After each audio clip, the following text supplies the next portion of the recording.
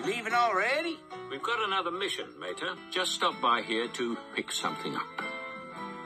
Something tells me you're not talking about souvenir bumper stickers. Her Majesty asked for you personally, Mater. But I told y'all before, I'm not a spy. We know. Spy or not, you're still the smartest, most honest chap we've ever met. Don't forget massively charming. Well, thanks. But as much fun as it was hanging with y'all, this, this is home. That's all right. We understand. But I'll be back. You still owe me that first date. If there's ever anything I can do for you, just let me know. Well, I sure appreciate that. Thank you.